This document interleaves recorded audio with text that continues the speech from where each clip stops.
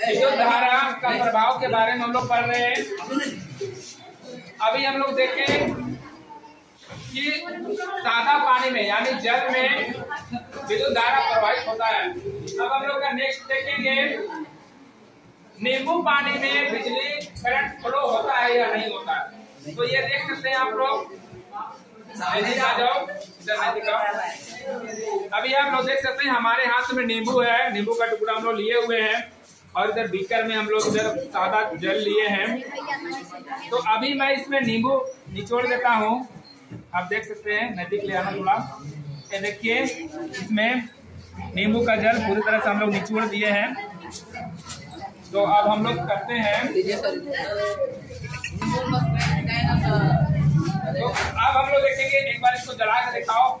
हम लोग बैटरी से बल्ब को इस तरह से कनेक्ट कर रहे हैं। बैटरी से चल रहा है। बैटरी से जल रहा है बहुत अच्छा। अब चलिए इसका नाम नींबू पानी में डालिए दोनों तारों को प्लीज़ रौनक सामने ले आओ।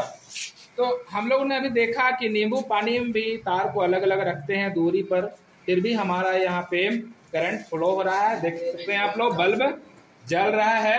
लेकिन इसमें क्या आप लोगों ने कुछ गौर किया? कि थोड़ा सा यहाँ पे बल्ब थोड़ा इसका रोशनी थोड़ा हाँ कम हो गया ठीक है? कम है।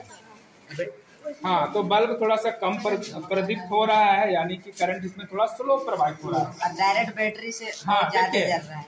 ज़्यादा चल रहा है यहाँ पे बैटरी से डायरेक्टली और नींबू पानी में और डालिए हाँ और इसमें थोड़ा इसमें और डाल देते हैं। ज़्यादा डाल देता हूँ इसमें।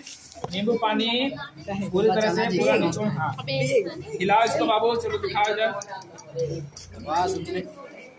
देख सकते हैं बैटरी हाँ। बैटरी में बैटरी में हो रहा है। और फिर नींबू पानी में डालते हैं देख हाँ। सकते हैं। दीप्त हो गया दीप्त हुआ लेकिन इसमें ऊर्जा कम है कम प्रभाव प्रदीप्त हो रहा तो इस तरह से हमारा प्रयोग थोड़ा थोड़ा ताली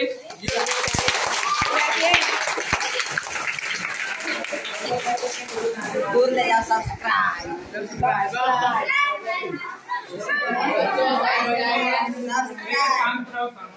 cabrones